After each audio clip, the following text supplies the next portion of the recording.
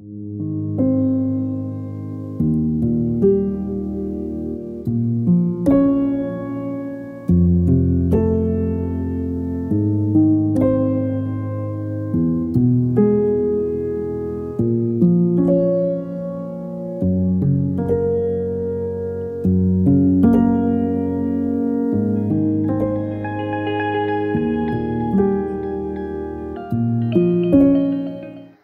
sehat saudara-saudara dan semangat Paskah. Sapaan Rohani tanggal 12 April 2023 ini terinspirasi dari Injil Matius pasal 28 ayat 1 sampai dengan 10 dan diberi judul Janganlah takut. Namun sebelumnya marilah kita berdoa. Ya Roh Kudus, bimbing dan tuntun kami untuk menikmati firman-Mu melalui sapaan rohani hari ini. Dan biarlah kami boleh mengalami damai sejahteramu di dalam nama Tuhan Yesus Kristus. Amin. Saudara-saudara yang terkasih, setiap orang pastinya pernah mengalami takut. Baik takut sebagai perasaan saja atau takut yang mempengaruhi sistem saraf tubuh manusia. Sebagai perasaan, takut dihubungkan dengan rasa gelisah atau resah sekali, perasaan tidak tenang atau gugup. Perasaan ini dapat terjadi saat seseorang menghadapi ujian akhir semester, ujian kenaikan tingkat, ujian skripsi, tesis, maupun disertasi. Ada rasa gentar menghadapi sesuatu yang dianggap akan mendatangkan kegagalan, kerugian, bahkan penderitaan, walaupun belum terjadi. Biasanya hal ini disebut dengan rasa khawatir. Namun, yang perlu kita waspadai adalah perasaan takut yang mempengaruhi mekanisme tubuh manusia.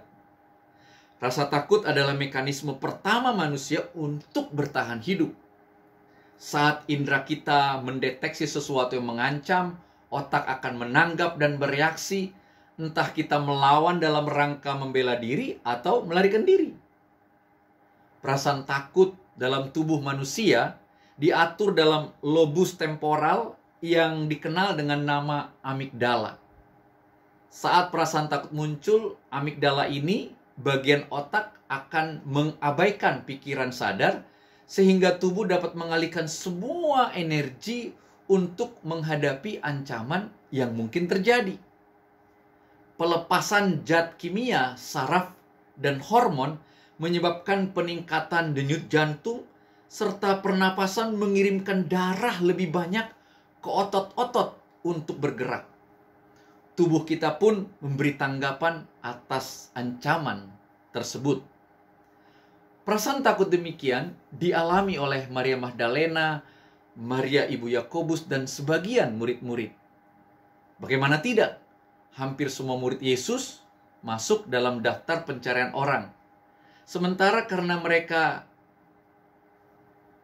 semata karena mereka dekat dengan Yesus. Guru mereka dan rabi mereka ditangkap, diperlakukan tidak adil, dianiaya, disesah, disalibkan, dinista, bahkan sampai mati. Bukan hanya takut tetapi juga sedih karena apa yang terjadi pada Yesus Kristus. Lebih lagi saat mengetahui bahwa tubuh Yesus yang telah mati dan dikuburkan itu sudah tidak ada lagi.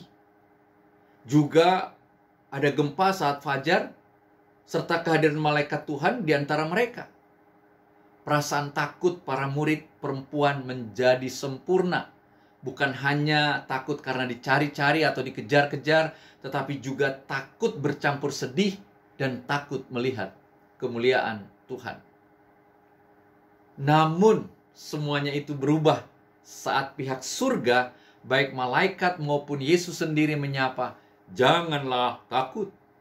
Bahkan Yesus menyapa, "Salam bagimu, damai sejahtera bagi kamu." Kata-kata itu adalah kata-kata yang memberikan ketenangan di tengah kekalutan, kegelisahan, dan kegentaran batin. Kata-kata itu adalah kata-kata penghiburan yang memberikan damai. Kata-kata itu adalah kata-kata penguatan di saat rasa lelah dan lemah. kata-kata itu mengubah kesedihan menjadi sukacita yang besar. Sebab bukan hanya kata malaikat bahwa Yesus bangkit, tetapi Yesus sendirilah yang menyapa dan memberi perintah. Ini bukti kuat. Yesus bangkit. Yesus hidup. Yesus Kristus hadir di antara para murid. Sapaan janganlah takut dan damai bagimu adalah sabda khusus Tuhan Yesus Kristus bagi kita secara pribadi. Apa pun yang terjadi sekarang atau yang akan datang pada kita, sapaan itu adalah jaminan damai sejahtera Tuhan untuk kita.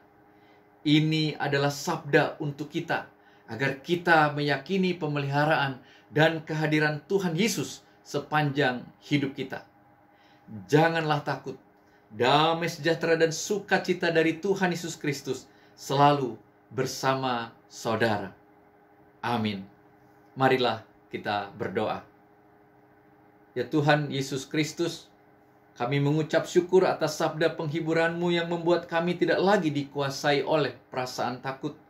Kebangkitanmu dan hidupmu telah meyakinkan kami bahwa kami tidak pernah Tuhan tinggalkan sendiri, tetapi justru Tuhan selalu bersama dengan kami di setiap keadaan, termasuk jika takut itu mendatangi kami.